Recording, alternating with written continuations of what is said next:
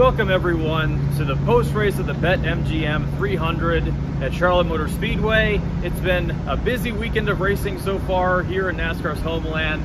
Tanner Gray scored his first ARCA win yesterday. Nick Sanchez scored his second truck win, holding off the dominant truck of Corey Heim, who was later disqualified from second after having three loose lug nuts. But we're here today, and, um, and for the third race of the weekend, it was Chase Elliott who scored his first Xfinity win since 2016, returning the Hendrick 17 to victory lane once again. Um, but the biggest story of this weekend and this race was Austin Hill versus Cole Custer. Uh, what happened was one of the final restarts at the end of the race. There were tons of cars on new tires, old tires, scuffed tires, all maneuvering. Um, Custer got pinched the wall a little bit in turn four. Um, they kind of door slammed each other on the front stretch. Hill cut a tire down going in turn one. He crashed. Custer was involved in it. And on the back stretch, uh, the two were linked, hooked together, and Hill took about it took about him eight seconds, ten seconds to succeed, but then he just left rear Custer on the back stretch in the 0-0 hit the outside wall. Hill finished 25th, two laps down. Custer was out of the race. Uh, let's just say the two were not happy with each other at all. Uh, Mark, you got to talk to Austin Hill post race. What did he have to say? What was his side story? He didn't really take ownership and apologize for it. Rather, he said that the way that Custer was racing him, he did not like. He had no problem with Custer beforehand, so he was a little uncertain as to what Custer's motivations were there. But at the same time, he did not apologized for it. He showed no remorse. Okay. He did, however, he did apologize for turning him on the on the backstretch. He said that's probably something I shouldn't have done, but regardless, in terms of the racing, that's something you know he wasn't going to apologize for that. Cole Custer, um, it was only a 25 second interview once he got out of the care center when the race ended, and he was hot. He straight up said Austin Hill tried to kill me on the backstretch and he did have a, he did he did suffer a pretty hard hit, you know, into the uh, backstretch wall after that after that collision. Um, he also said that Austin drove like a pissed off teenager. So a lot of bad blood there. They're first and third in the Xfinity points, and with the championship on the line, things might get heated between the two. Now, as we go into the other stories of the race, um, it was the Cup invasion not only on the track but also in the broadcast booth. It was a, it was the annual drivers only broadcast. Josh Berry, Carson Hocevar served as pit reporters, and then you had uh, Brad Keselowski, Erik Jones in the in the the in the, in the Hollywood Hotel, and then you had obviously Blaney, Logano, and, and so on inside the uh, in, inside you know calling the race with Logano serving as the play-by-play man. Now, uh, Mark, and both after the race and uh, in the uh, bullpen following Cup qualifying, you know, several of the drivers got to talk about their experience today. What did they have to say? They all seem to really enjoy it. They believe that because the CW is taking over the broadcast rights for Xfinity in 2025, this is likely the last year of it.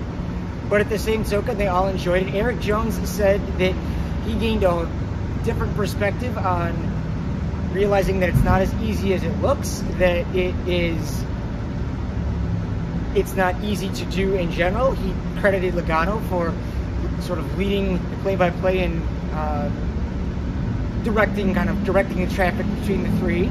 And then Austin Cindric said that he really enjoyed it. Cindric has done some other broadcasting. He's done uh, some as the driver analyst for the ARCA Menard series. So he said that kind of this was his last role within the broadcast booth that he had not done, and he greatly enjoyed it. And Joe, uh, Brad Keselowski's comment was that he enjoyed it as far as the on-track mishaps, if you will, between Austin Hill and some of the other drivers and that sort of thing. Brad's biggest thing was that he was just glad it wasn't him. Indeed. Um, Carson Hocevar, Josh Berry, they also enjoyed being the pit reporters. Carson's, you know, announced in the booth before, but he said it was a different pace, different way, different way to get used to it. Also fun to walk up and down. Uh, he also had racer Caden Honeycutt, who was one of the fastest trucks in, in his former team at Niece Motorsports at Charlotte in the truck race on Friday, but a late pit stop dropped him to seventh. Now, on the driver's side, there were plenty of Cup drivers that entered. Uh, Chase Elliott, ran in the Hendrick 17 and he won the race. Kyle Busch made his first uh, Xfinity start for RCR in the 33. He finished sixth. Um, Noah Gragson finished 10th in his return to the Xfinity Series for Rhett Jones Racing. First start for them, great result for them as well. Ty Gibbs won the pole, he finished ninth. Uh, they, the Cup drivers mostly had it covered throughout the day, but JR, Junior Motorsports, they had they put up quite the fight. Sam Mayer led the most laps. Allgaier combined to lead the second most. Allgaier got wrecked out. Chase Elliott at the end, he had an extra set of tires because of um, pit strategy, so he ran away from the field. Let's So not forget Allgaier also won both stages too. Yes, definitely. So JRM, you know, they were they were putting it to the Cup drivers. They were right there with them every single step of the way. But while Chase Elliott won, it was Brandon Jones second, Sammy Smith third, and Sam Mayer fourth. Much needed good runs for all of them, and uh, you know, for as many 1.5 mile tracks intermediates, that's you know that, that's a huge day for JRM, even if they weren't able to win. Now, before we get to Cup qualifying, which happened later, you know, just after the Xfinity race, which is a normally a reversal from having it be before the Xfinity race on Saturdays. Next, the next on-track action we'll see is in Indianapolis. Well, hopefully we'll see it because there's potential rain on the way, and uh, everyone's you know tuning in to see Kyle Larson try and attempt the double.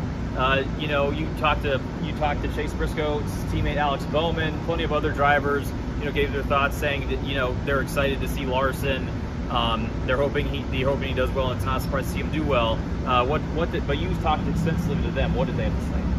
What really stood out to me was Chase Briscoe.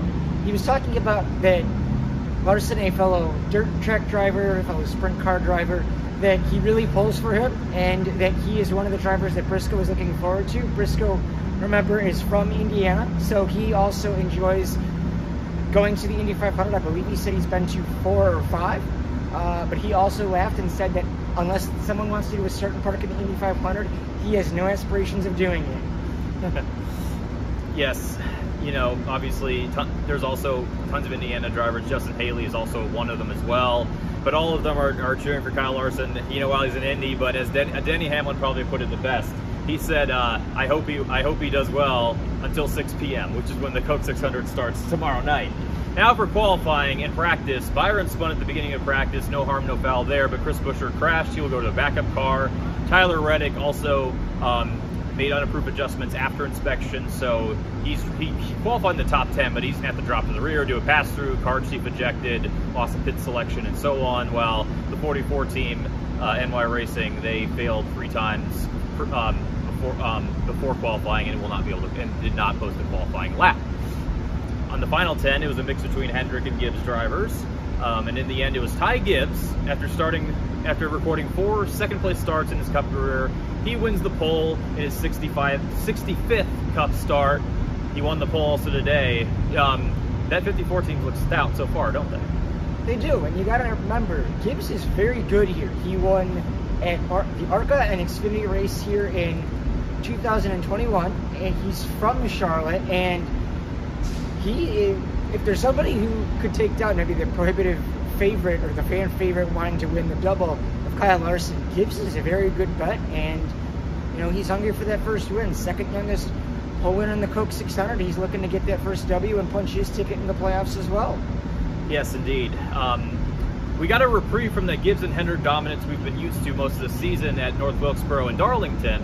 But um, once again, in qualifying, they're all right up there. Chase Elliott, William Byron. He, he, he- he spun in practice and finished and managed to qualify second.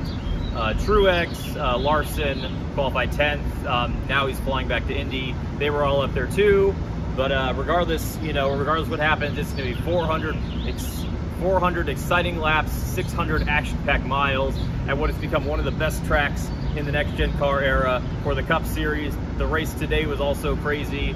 Um, it was, you know, this weekend just so much fun. And tomorrow we get the Christmas of auto racing. I think all of us that are, you know, reporters, but also, you know, love, love love this all together. We got the Monaco Grand Prix for Formula One. We got the Indy 500. If it can get, if it if it can, uh, you know, be run, I hope it does. Mother Nature, please stay away. And then we got we got the last one, the, the closing act, the Coca-Cola 600.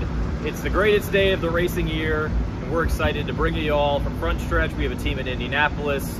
Mark and I will be returning to the the Coke 600 tomorrow. But until then, I'm Stephen Stumpf. He's Mark Kristl. Have a good night and get ready for tomorrow. Stephen Stumpf of FrontStretch.com here. Come back for more great racing videos, and if you like us, don't forget to hit that subscribe button.